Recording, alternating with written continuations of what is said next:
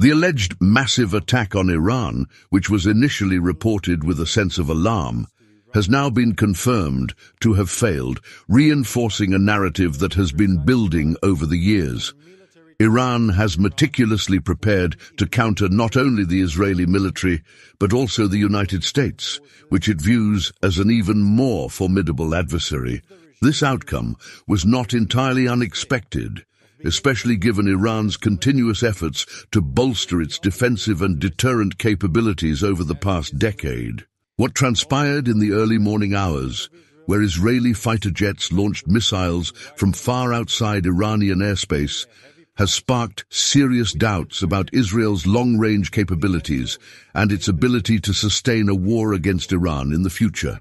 This incident also underscores how vulnerable Israel's military operations are when conducted without regional support. Reports indicate that more than 100 Israeli fighter jets were involved in the operation, firing missiles from beyond Iranian airspace. This was clearly a calculated move, driven by the fear of engaging directly with Iran's formidable air defense systems, which have become increasingly sophisticated in recent years. Iran's air defenses were ready, and their performance in intercepting and neutralizing the incoming missiles has cemented Iran's deterrence capabilities.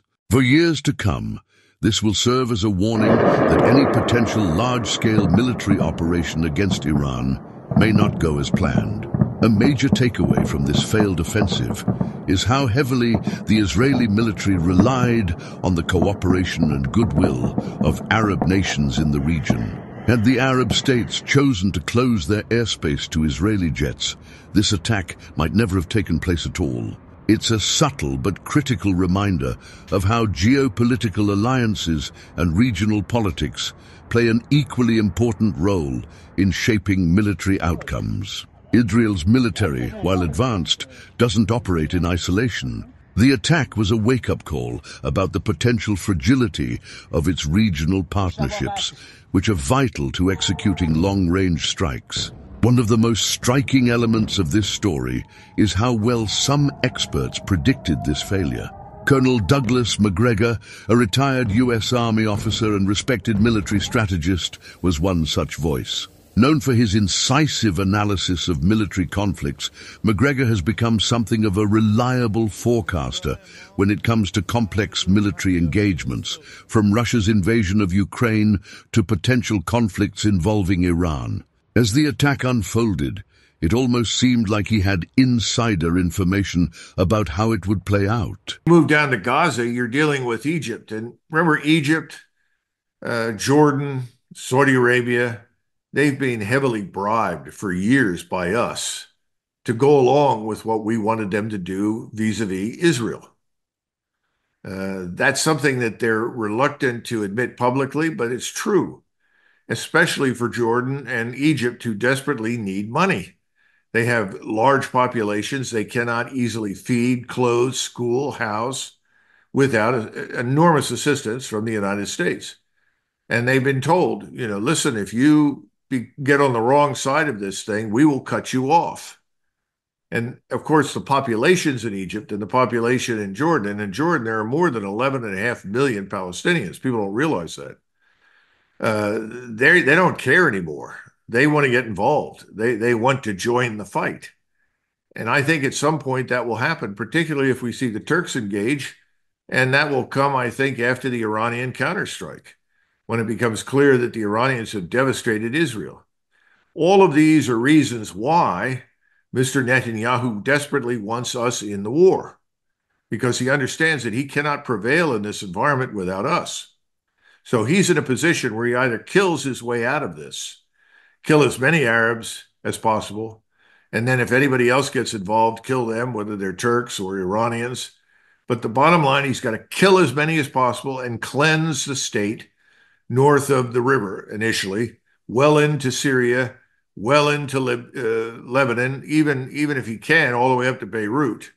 Get rid of as many as there the people there, and then try then to attain some sort of peace settlement that leaves him in charge of most of this territory, and then he hopes to fill it with Jews.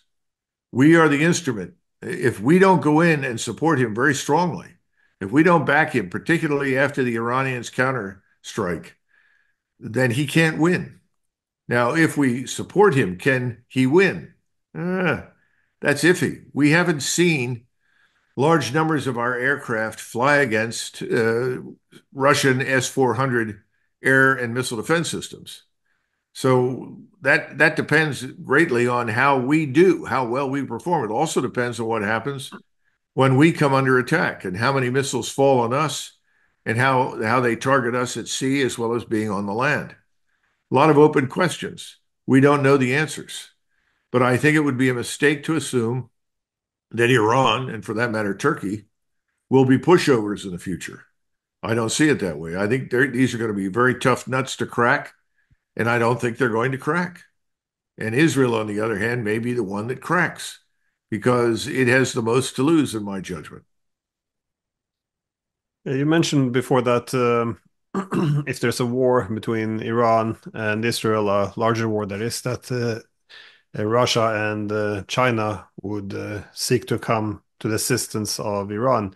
Now, did, do we have any information yet in terms of any weaponry which has been transferred? I, you know, you hear about um, their defense systems. I, I think they're also sending the S-400s. Um, do you do we know anything else about the capabilities? Because there's a lot of uncertainties about the capabilities of Iran, both uh, what it's built on its own, but also, of course, what is being supplied by uh, uh, friendly states. Well, we know that they've been given Iskander missiles. Those are medium range ballistic missiles. One of those fell on the Swedes and other NATO forces in eastern Ukraine recently near Poltava and was devastating. Uh, they they probably have access to more than that, to more longer range missiles. Clearly, they have hypersonic missiles. We know that because they penetrated and struck targets at an Israeli military site. How many do they have? Uh, what kinds of different warheads? I don't know. Anything is possible, but I think they have enough that they can selectively target what they consider to be important military installations and people. Uh, so I think uh, they've got more than enough. Someone told me recently that they had the capacity to fire 400, the equivalent of 400 missiles and rockets uh, every hour for three or four or five days before reloading anything. Now that may be an exaggeration, but it's it's not impossible. Uh, I, we'll have to wait and see how this initial engagement goes uh, for the Israelis when they attack. That'll tell us a great deal if their aircraft are lost, if it doesn't go that well, if they don't achieve what they, of course, we'll we'll never be told honestly what they did or didn't achieve. We know that from experience, but we'll be able to know what happened. And then the Iranians counterstrike. Uh, that's when we come in. I mean, we will come in. We have a thousand fighters ready to go. Uh, we have large numbers of bombers sitting down on Diego Garcia and in other locations. We can fly them all the way from Nebraska if we need to and drop enormous quantities of ordnance on Iran.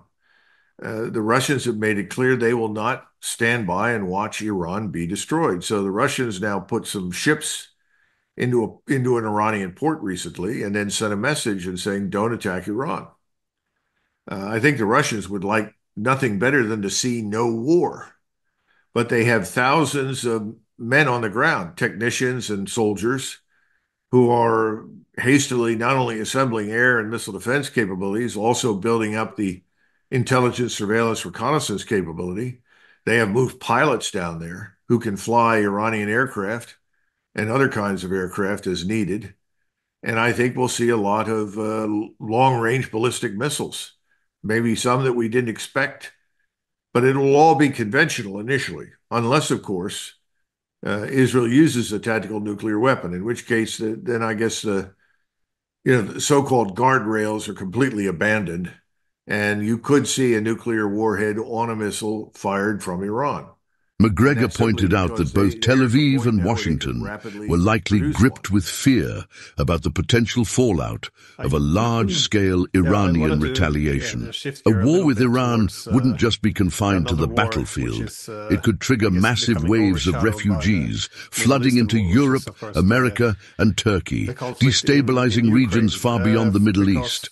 But the most significant concern would be economic. Macgregor highlighted the strategic importance of the Strait of Hormuz, a choke point through which a significant portion of the world's oil passes. If Iran were to retaliate by disrupting oil shipments in this region, the global economy could be brought to its knees. The potential ripple effects are staggering. Energy prices would skyrocket, stock markets would crash, and countries dependent on Middle Eastern oil could find themselves grappling with severe shortages. This brings us to another crucial layer of this analysis, the role of Russia. As Macgregor astutely noted, Russia's antagonism towards the West, particularly in light of the ongoing conflict in Ukraine, adds a dangerous dimension to any future confrontation involving Iran. In recent years, Iran has developed closer ties with Moscow, and given the current geopolitical climate, it's not far-fetched to imagine Russia throwing its weight behind Tehran in the event of a full-scale war with the US or Israel. Macgregor suggests that if war were to break out, Russia might supply Iran with advanced weaponry and military intelligence, much in the same way that NATO has been arming and supporting Ukraine against Russian aggression. The consequences of such an alliance would be dire for the West. Russia, already embittered by what it perceives as Western interference in Ukraine, could seek to use the conflict in the Middle East as a form of retribution. Macgregor theorizes that Russian support could extend beyond supplying weapons. It might even include targeted attacks on U.S. assets in the region. Russian naval forces could go after American warships or dismantle U.S. military bases in retaliation for Western actions in Ukraine. This would elevate the conflict to an unprecedented level of danger, with multiple world powers entangled in a potentially catastrophic war that the Trump administration, the future one, will be solidly in the Israeli camp and back what he wants to do. So, under those circumstances, I think he's decided we have to attack, that is, Israel has to attack Iran before the election and get the war started before the election. Now, when does that happen? First or second or third of November? I don't know, but probably somewhere in there. Uh, so he'll wait for the additional air and missile defense forces to arrive They'll be set up, and then I suspect he'll launch his attack, which I expect to be very powerful, as powerful as he can make it. The only question at this stage is will he use a tactical nuclear weapon or two tactical nuclear weapons or three tactical nuclear weapons against Iran's alleged nuclear site? We have ultimately asked him not to do that, but he has these weapons, and he's made it very clear that whatever we want is secondary to his and Israel's interests. And therefore, he will do what he thinks is appropriate. The problem, of course, of using a nuclear weapon, Glenn, is that you open the proverbial bottle and the genie comes out. And that makes it then legitimate for others to use those weapons against you. And we know that uh, Iran is close to the threshold uh, of producing warheads that can be weaponized on the missiles available to the Iranians. So uh, hopefully that won't happen, but it could. At any rate, that's the that's the situation he's in right now. Now, then the Iranians will respond, and the question is, at this stage of the game is uh, how rapidly they will respond. Will they respond instantly? uh, start unloading their missiles on Israel as soon as they discover that they are under attack, or do they wait and then attack? I don't know. But I think that'll be devastating for Israel. It's going to be hard on Iran, but Iran is a nation of what? Almost 90 million people. Iran is the size of Europe, Western Europe. Of course, they have two large deserts internal to the country. There aren't very many people in those, obviously. Uh, so populations are concentrated in a few cities but you do have a large rural population. So Iran is is going to absorb it, and then they're going to strike back, and they will have every amount, every bit of help that uh, Russia and China can provide to them. So when I see Blinken making his uh, regular trips to the Middle East, they keep focusing on the idea that uh, you know they're close to a ceasefire. They're trying to put pressure on Netanyahu to walk back this conflict. Uh, but at the same time, of course, there's no uh, well pressure actually being put in terms of limiting the weapons and well capabilities being delivered, and now we see this uh, this uh, THAAD uh, air defense system as well being delivered, and as you pointed out, a very sophisticated system as well. How can we under how should we understand the U.S. position? Are they do, do they have they given up on the idea of ceasefire, or are they uh, are they still uh, waiting for Israel to determine what the U.S. should do, or it becomes very difficult to follow because the the, the signals they want to send it seems to differ very from the actual actions which are being taken. If you are uh, in one of the Arab states right now, or Iran, or Turkey, it's very obvious to you who is in charge. Mr. Netanyahu is in charge. And he doesn't ask for something, he demands it and he gets it. And Amos Hochstein or uh, Tony Blinken, when they come into the region, are not treated seriously anymore because, as far as the Arabs and Turks and Persians are concerned, these people are simply repeating talking points from Mr. Netanyahu, and they are Mr. Netanyahu's agents. We are viewed uh, through that lens right now. So I don't think there's any expectation in the region that anything we say about our our readiness to urge Israel to do something else means anything. I think they fully expect to be hit and be hit very hard, and I think they will hit back very hard. We'll see what it looks like the day after the Iranians have struck back.